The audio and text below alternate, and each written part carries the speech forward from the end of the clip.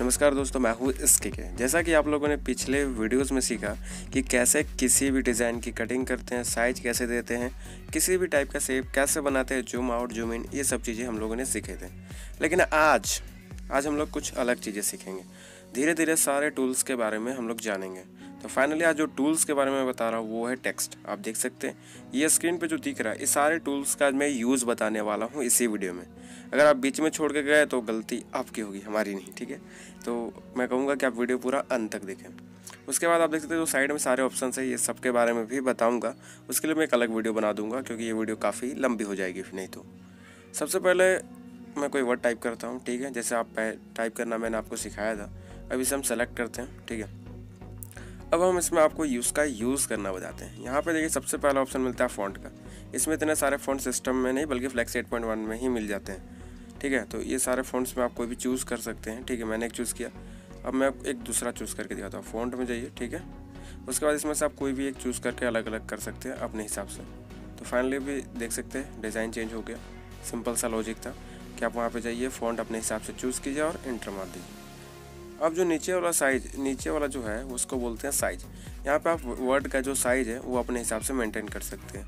ठीक है, अगर मैंने थ्री इंचज़ डाले तो देखिए आप साइज़ यहाँ पे बड़ा हो गया, है ना? अब मैं इसे छोटा डालता हूँ, ठीक है? या इससे बड़ा जो आप डालना चाहे, वो डाल सकते हैं. मैंने छोटा डाला तो देख सकते हैं ये कितना छोटा हो गया. तो इस टाइप से आप वर्ड की जो साइज़ है, वो अपने हिसाब से मेजर कर सकते हैं. फ़िलहाल मैंने एक इंचज़ रहने दी, क्योंकि पहले से यही साइज़ था, ठीक है? अब जो नीचे वाला ऑप्शन है, वो जस्टिफिकेशन ठीक है?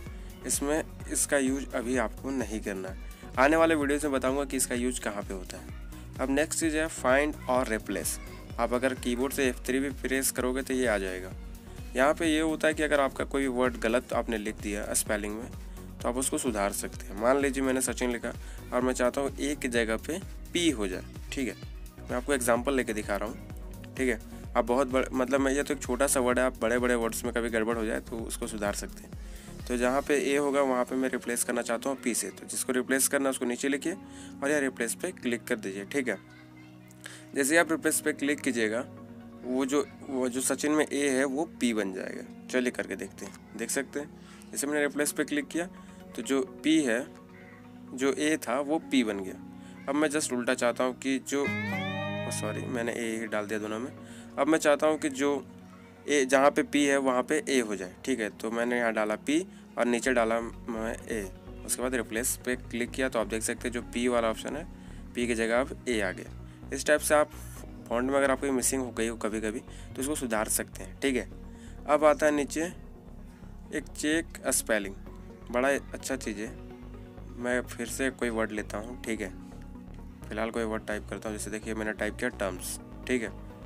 अब इसके आगे मैं कुछ और लगा देता हूँ, जैसे सब लगा दिया, ताकि मैं चेक कर पाऊँ कि स्पेलिंग सही चेक करता है या नहीं, ठीक है? तो मैंने इसे सेलेक्ट किया, अब जाएँगे टेक्स्ट पे। यहाँ पे होगा चेक स्पेलिंग एफ़ सेवन भी दबा सकते हैं इसके लिए आप कीबोर्ड से। तो जैसा कि आप देख सकते हैं, ऊपर में जो ब्लू लाइन दिख रही है, वो जो मैंने लिखा है, वो सेम टू सेम दिख रहा है।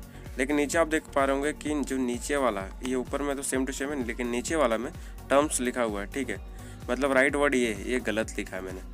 तो आप इसको रिप्लेस करना है तो बस चेंज पे क्लिक कर दीजिए और इस पे क्लिक कर दीजिए। तो देख सकते हैं ए सी भी हट गया और टर्म्स बच गया। तो इस तरह से आप कर सकते हैं। अब मैं आपको सिखाऊँगा इसमें अपर केस लोअर केस और सेंटेंस के केस के बारे में, ठीक है? तो फ़िलहाल मैंने एक वर्ड टाइप किया, ठीक है? अब मैं जाऊँगा टेक्स्ट पे। यहाँ पे एक ऑप्शन होता है केस का। केस में आपको बहुत सारे आपको ऑप्शन मिलेंगे upper case lower case sentence case title case और टोगल केस तो मैं सारे केस अभी आपको यूज़ करके बताऊँगा कि कैसे इसका यूज़ करते हैं और इससे क्या फ़ायदा होता है। अगर जैसे ही आप देख पा रहे होंगे कि मैंने अपर केस क्लिक किया तो यहाँ पर सारा लेटर बड़ा हो गया, जबकि पहले छोटा था। फिर मैं जाता हूँ केस में, और अगर मैंने लोअर चूज़ किया तो सारा लेटर छोटा हो गया, ठीक है? और अगर मैं चाहता हूँ कि नहीं फ़र्स्ट लेटर बड़ा हो, बाकी सब छोटा तो आप सेंटेंस में दबा सकते हैं, ठीक है? है ना? उसके बाद एक और नीचे वाला ऑप्शन था, ठीक है? ये देखिए, नीचे वाला एक ऑप्शन है, क्या नाम है इसका? टाइटल केस इसमें भी सेम टू सेम रहेगा क्योंकि इसमें फ़र्स्ट लेटर बड़ा होता है और सेंटेंस में भी बड़ा होता है, ठीक है? दोनों में फ़र्स्ट लेटर बड़ा होता है, बाकी सारा छोटा। लेकिन जो लास्ट वाला है, वो है टोगल केस मतलब फ़र्स्ट लेटर छोटा, बाकी सारा बड़ा। तो ये थे इसका यूज़ अब देखते हैं आगे वाले टूल्स के बारे में, ठीक है? अब नेक्स्ट टूल है कैनरिंग ये होता है कि दो वर्ड के बीच का स्पेस ये फाइंड करता है।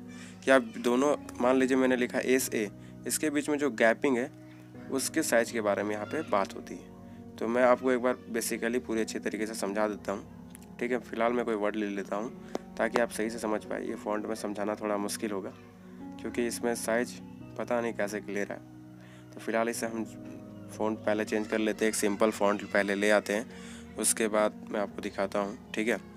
ये देख सकते हैं, मैंने सिंपल फ़ॉन्ट लिया। अब मैं आपको बताता हूँ कि यहाँ पे स्पेस में मैं बात किस चीज़ का कर रहा हूँ। ठीक है, पहले मैं से जूम करता हूँ। जहाँ, जैसे कि आप देख पा रहे हो एस और ए के बीच में जो गैप है, इस दूरी की बात यहाँ पे होगी अभी। ठीक है? इसके बीच में कितना का आप डिस्टेंस रखना चाहते हैं, वो अपने हिसाब से भी मेजर कर सकते हैं और रैंडमली भी कुछ कुछ कर सकते हैं।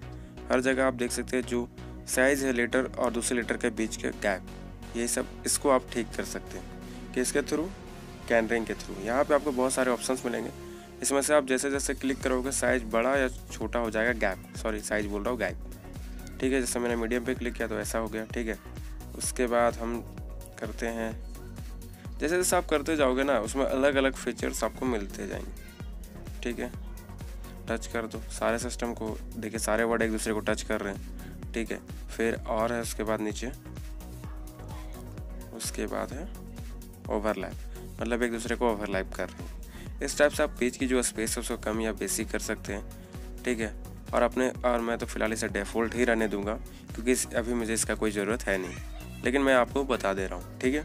अब आते हैं नीचे डिफाइन कैनरिंग ये चीज़ है कि आप डिफाइन कर सकते हो कि कौन से लेटर के बीच में कितना गैप होना चाहिए, ठीक है? तो फ़िलहाल अब मुझे नहीं लगता कि आपको इसकी ज़रूरत पड़ेगी। अब फिर से टेक्स्ट को ओपन करेंगे। उसके बाद नीचे वाला जो ऑप्शन है, वो डिफाइन कैरेक्टर है। ठीक है। इसमें आप हर एक कैरेक्टर को अपने हिसाब से आप डिफाइन भी कर सकते हैं। डिपेंड करता है। लेकिन इसकी अभी मुझे नहीं लगता कि आप लोगों को अभी ज़रूरत होगी तो उसको सीखना भी बेकार है। ठीक है, इसको छोड़ देते हैं। अब आती है ब्रेक अपार्ट ठीक है।